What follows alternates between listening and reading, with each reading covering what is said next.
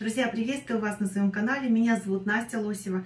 И сегодня, как и обещала, у нас 2 декабря, пора печь рождественские кексы. Полный список ингредиентов я размещу в этом видео в конце ролика, и вы можете поставить на паузу и записать, э, что вам необходимо будет. А, Но сначала э, я хочу сказать, что вам понадобится сделать небольшие приготовления, а в частности замочить изюм, как я это сделала за несколько дней, в любом ароматном алкоголе. Либо, если вы не хотите делать это а, в алкоголе, вы можете взять апельсиновый сок, например, или вишневый сок. И изюм разбухнет и будет таким красивым и симпатичным. Но прежде всего, э, значит, еще хочу сказать, что этот э, кекс или штолен, он называется правильно, а, можно хранить э, длительное время, месяц и даже более.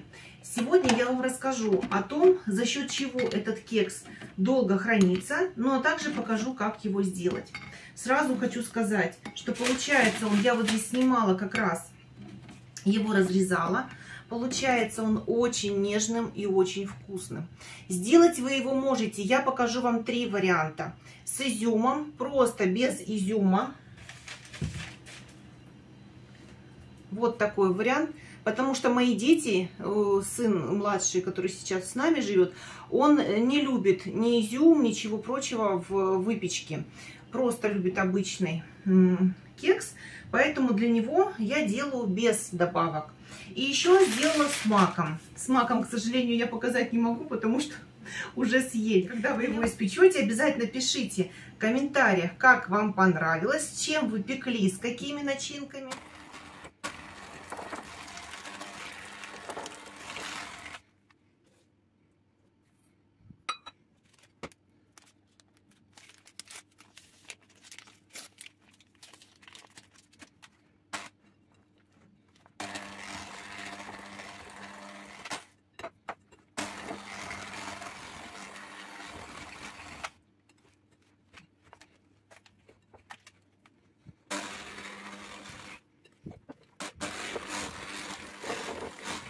За счет чего этот кекс хранится долго?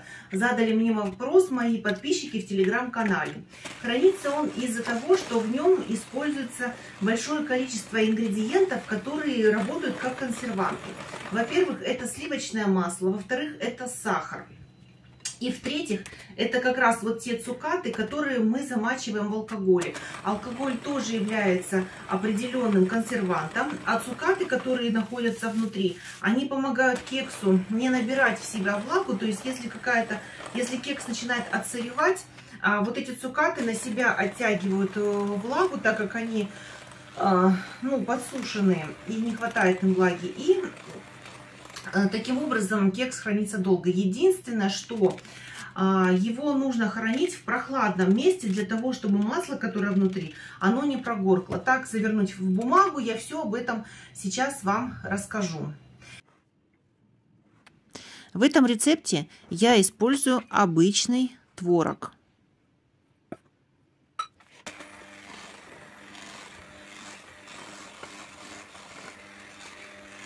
Смешиваю все ингредиенты при помощи обычного ручного а, миксера, но вы можете использовать и планетарный. Взбивать ничего не нужно. Разрыхлитель я отдельно кладу в муку и потом уже буду частями вводить вот в это тесто с жидкими ингредиентами. Почему я так делаю? А у меня здесь э, килограмм муки, но у нас с вами будет, э, будут разные ингредиенты. Во-первых, немножко разное по весу яйцо. Во-вторых, разный по влажности творог, поэтому у вас может уйти чуть меньше или чуть больше муки. Но приготовьте сразу килограмм. Ориентируйтесь на консистенцию теста, которую я сейчас покажу. Тесто должно оставаться нежным, но при этом не липким. Муки не должно быть мало, потому что здесь большое содержание масла, и если у вас будет мало муки, то начнет э, вытапливаться жир, и не получится вот такой э, нежной, мягкой структуры э, кекса. Поэтому не должно быть много, но и мало муки тоже не должно быть. Пожалуйста, ориентируйтесь вот на эту консистенцию теста. Сейчас я буду вымешивать его руками.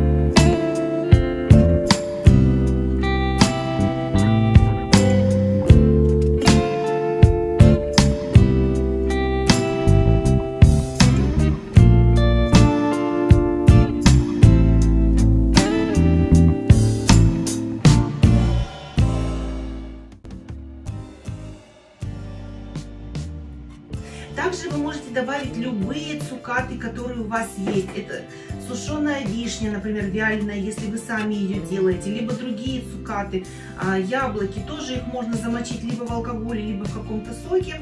И, пожалуйста, используйте все, что у вас есть. Также можно класть орешки. Здесь по вкусу и уже а, я могу довериться вашей фантазии. То есть вы уже сами, я надеюсь, можете придумать, из чего вам нравится сделать какую начинку.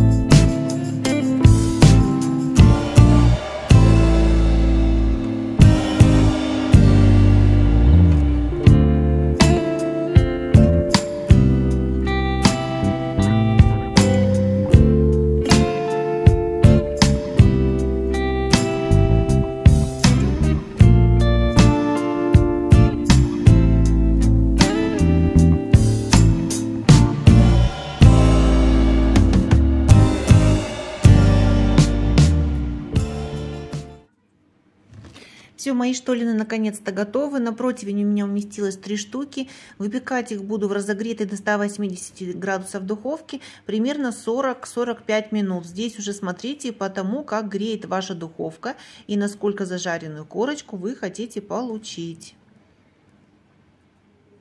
И затем я вытаскиваю их из духовки. Сразу помещаю на а, решетку, чтобы они хорошо остыли. Сейчас я буду смазывать их растопленным сливочным маслом. Делать это надо очень тщательно, прям по горячей корочке. Следите, чтобы во все э, трещинки во все складочки попало сливочное масло. После этого мы оставляем штолины остывать. До полного остывания примерно 2-4 часа. Ну, в зависимости от температуры воздуха у вас, э, от размера самого штолина. И затем мы повторяем эту процедуру, еще раз тщательно смазывая их растопленным сливочным маслом. Затем мы ждем, чтобы они хорошенечко впитали сливочное масло и начинаем посыпать их сахарной пудрой.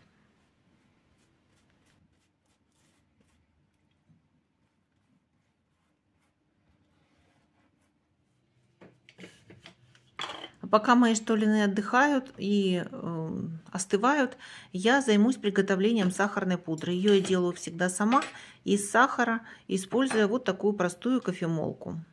Сразу делаю сахара побольше, потому что на следующей неделе я планирую э, записать для вас видео с изготовлением очень вкусного десерта. А, не знаю, догадаетесь ли какой. Обязательно размещу вам а, такие кадры когда буду готовить. А там догадаетесь или нет. Но знаю, что многие хотят его делать в домашних условиях и думают, что это очень сложно. Вот такую вот даю вам затравочку на следующую неделю, чтобы вы думали, мечтали, что будем готовить. Ну, ладно, сделаю вот такую баночку.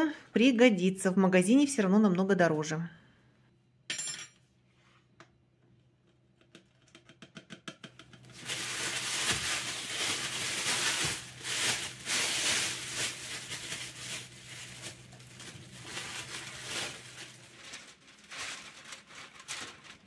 Для посыпки сахарной пудры выкладываю штолен сразу на пергаментную бумагу. В которую буду его заворачивать, для того, чтобы не тратить лишнюю сахарную пудру. Так пудра попадет и на дно штолина, и хорошенечко его нам законсервирует.